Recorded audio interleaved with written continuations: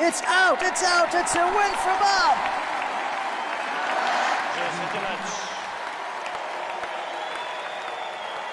Martin would like to check the mark, but apparently the referee has made his call.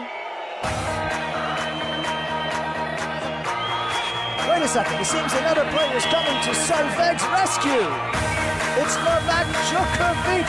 Now this is truly unbelievable.